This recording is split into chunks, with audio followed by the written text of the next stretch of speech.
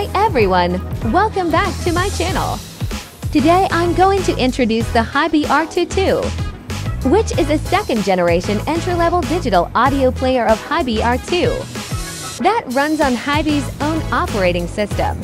This device has a lot of features that you would expect from a more expensive player, such as high-resolution audio support, streaming capability, Wi-Fi and Bluetooth connectivity, and a customizable sound tuning system. The HiBy R22 has a compact and lightweight design, with a 2.45-inch IPS touchscreen on the front and three physical buttons on the side. It has a single microSD card slot that supports up to 2 terabytes of storage, a USB-C port for charging and data transfer, and a 3.5 millimeters headphone jack that doubles as a lineup and coaxial output.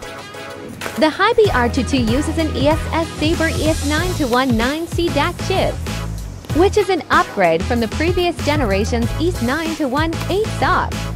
It also supports MQA decoding, which is a rare feature for a player at this price point.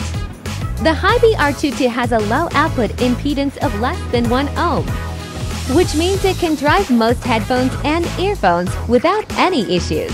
The HiBy R22 has a built-in Wi-Fi module that allows you to access various online music services such as Tidal, Qobuz, Spotify, Deezer, and more. The HiBy R22 has a 1000 milliamp hours battery that can last up to 15 hours of continuous playback on a single charge.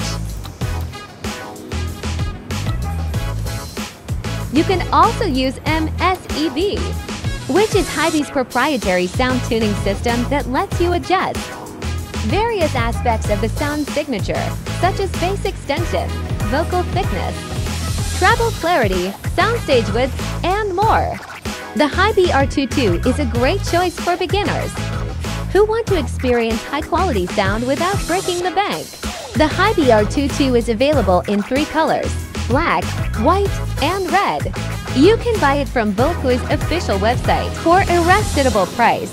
If you enjoyed this video, please give it a thumbs up and subscribe to my channel for more content like this. Thanks for watching and I'll see you in the next episode.